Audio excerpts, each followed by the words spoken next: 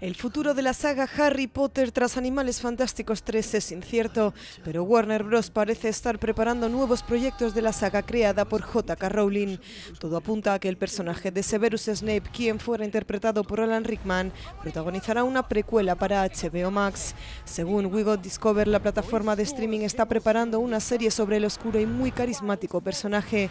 Por el momento no se sabe qué etapa de la vida del protagonista cubrirá la producción. Cabe recordar que Alan Rickman, actor que interpretó al personaje falleció en 2016. Por el momento se desconoce quién dará vida al profesor.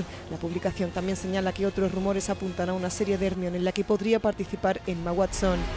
Nunca quise que murierais por mí. Hasta que se conozcan más detalles, los fans podrán disfrutar de Animales Fantásticos 3, la cinta dirigida por David Yates y protagonizada por Jude Law, Eddie Redmayne, Ezra Miller y Mads Mikkelsen, que sustituye a Johnny Depp como el villano Geller Grindelwald. Llega a los cines el 15 de julio de 2022.